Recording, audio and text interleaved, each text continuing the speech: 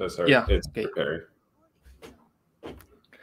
Uh, so the idea basically is to be able to infer the depth of a sedimentary basin from gravity observations.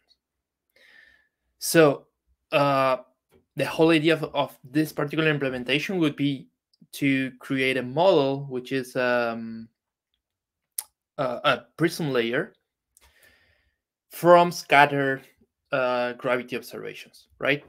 So yeah, we we drafted this notebook, which is not documented at all, but yeah, hopefully do the job. Um, so we, we start by creating some synthetic uh, basin, uh, with it is a checkerboard.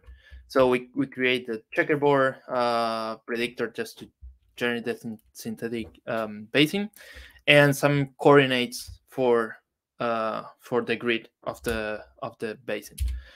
And we can put here the basin surface, which basically uses the checkerboard to predict on the grid. And we take so the, the checkerboard creates an oscillating uh, basin basically, uh, but around zero. So we shift it like uh, four kilometers down. And then what we do is um, we assign a density for the basin and build a prism layer out of it, um, what generates this data set.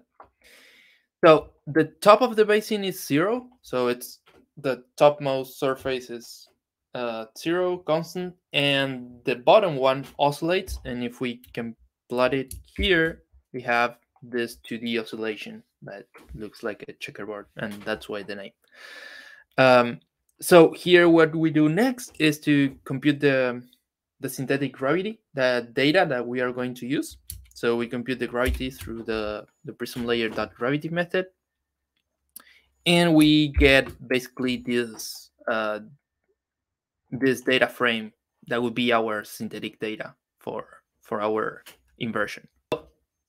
Uh, until now, it's all how to create synthetic data for the implementation. And then we move on to actually implement the inversion.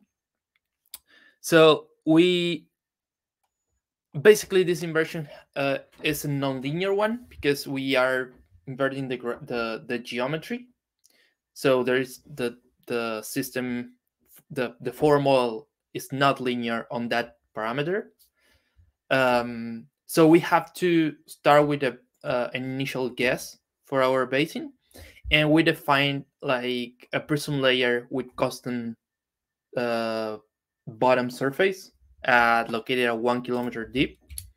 So if you can see it here, the top is zero and the bottom is also constant, but at one kilometer depth, right? This is our initial guess for this basin. And we also assign a density to each one of these prisms. So we started drafting the Jacobian and doing some, uh, yeah, drafts here, but I, I can move on to the final implementation we had yesterday. Basically, we have two functions, one that builds the Jacobian matrix and another one that actually applies the inversion. Uh, so, yeah, I don't know how to put it, but yeah, let, let's start with how it, I would run this code first. So this is the the function that I would I would call to to run the inversion, asking the coordinates and the data. These are the uh, observation coordinates and the observed data. Uh, we need to pass this initial model that we predefine, and some arguments like how many times I would I would like to run the iterations for this inversion, which field I want to invert, and if I want damping, and the delta is um, is a parameter to uh, use to compute the Jacobian, right? How thick will be the small prisms that we are going to use to obtain the Jacobian. So basically, we uh, define this model as a copy of the initial model, and then we run this inversion in in a for loop. We start by computing the gravity field generated by this initial model uh, and on each one of the of observation points. We compute the residuals as the data minus the predicted ones. So this basically is how bad your like like in in gravity, but how bad is the model you had estimated, right? And we now have to define the Jacobian matrix, uh, which calls this function here. So basically, the Jacobian matrix is like a sensitive matrix where each um, each element of this 2D matrix is how uh, how it's basically how the the the gravity field changes on one observation point if I change one uh, the, the geometry of one prism, right? So it's like uh, for each prism and for each observation point, you have these elements, right? Um, so yeah, we, we pull some clever stuff here, like making a generator, which doesn't allocate memory, but uh, but returns prism the each prism and each density by request. And then we actually build a Jacobian by computing the gravity field of a small tesseroid, sorry, a small prism that is around the bottom surface. Uh, and we use the delta to define that that small prism. And once we compute the entire Jacobian matrix, we go back here and we can apply two things. Uh, like steepest steepest descent that it's going down the gradient or we can apply Gauss Newton that it's slightly more expensive because we have to solve a linear problem, right? And once we have like this step, which is like how many, uh, um, yeah, how, how much do we need to add to the bottom to actually be able to obtain the, the true model? we add this step to the to the bottom surface of the prism layer, right? And we can run this uh, in as many times as we want. We found that with two, this actually works pretty well. So I can define these two functions and run the the inversion. It takes just less than one second, I think.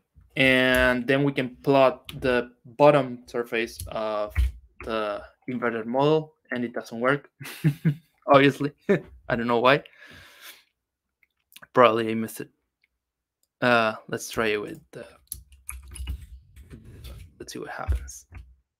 Oh sorry no i'm yeah you changed the delta. with, yeah probably screw here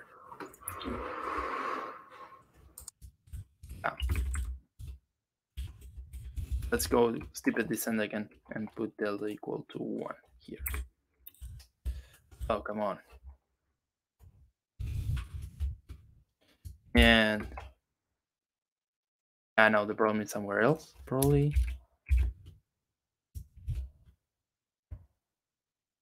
Hmm. Okay, never mind. Let's try with uh, the, the other one.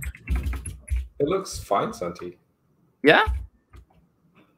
Yeah, now, now. Yeah, I mean now it's better. Yeah, but yeah, yeah. With uh, steepest descent, you usually need more iterations. Okay. Um. Yeah, and I have a question here, but I, I will ask it later, probably. Um.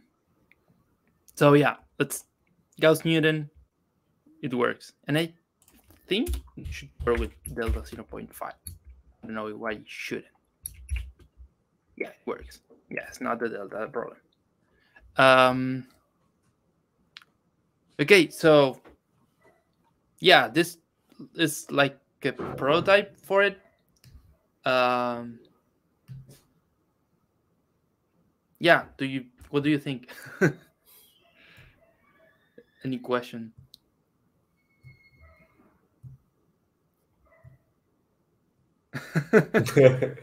yeah, all that in one meeting.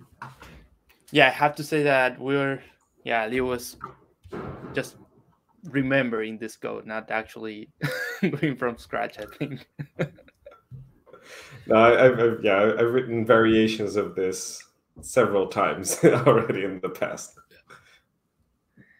Uh, uh, yeah. Actually, sh- shall I stop the recording now? Yeah, if you want to, no problem. Yeah.